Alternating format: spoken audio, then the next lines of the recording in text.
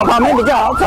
救护人员抵达国道一号，受伤的女乘客在旁人搀扶下坐上救护车。稍早，车内还有另外一名女乘客，更是被抛飞车外。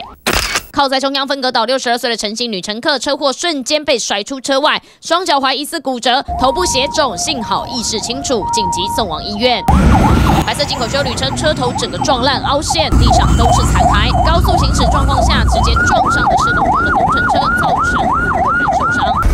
修理车暂时被拖掉到国道警察交通分队，挡风玻璃撞破一个大洞，引擎盖上还有血迹。而被他撞上的工程车尾端的防撞架虽然发挥了效用，吸收了高速撞击力道，车体本身毫发无伤，但要价大约一百五十万的防撞架像纸盒挤压扭曲，整个报废。工程车三十八岁的王姓驾驶也因此受伤。那那阵咱是在做什么工程？维护啊。车祸地点在国道一号北上，靠近斗南地磅站。肇事的修理车驾驶四十七岁的侯姓男子，二十号早上十点多，车上载着四名女乘客，结果冲撞的工。程车会发生车祸，又是因为这种驾驶行为惹了祸。经初步调查，驾驶荷兰有开启自动驾驶辅助系统而肇事，各车驾驶人皆无饮酒情形。国道警方补充，光是去年因为未注意车前状况发生的车祸件数就有九千七百零六件。再次强调，自动驾驶或紧急刹车系统都只是辅助，路上状况多还是得靠自己最保险。TVBS 张崇敏、赖崇罗新云林报道，请支持 TVBS 国际 Plus 全新频道，让您扩大视野，掌握趋势，接轨全世界。恳请订阅，